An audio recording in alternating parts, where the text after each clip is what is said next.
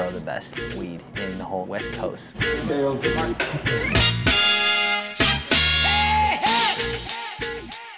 This is the indoor facility, uh, maybe about uh, one week away from harvest. There's approximately 300 plants in this area. We had to create synthetic marijuana. It's very hard to create that crystalline effect.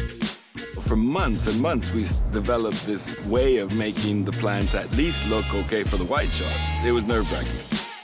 But I can guarantee you that not one ounce of real grass is on that movie set. So I'm going to uh, start eating this one.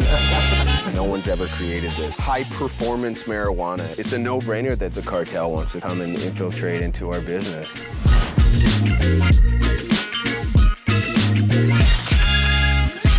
THC is testing 33%.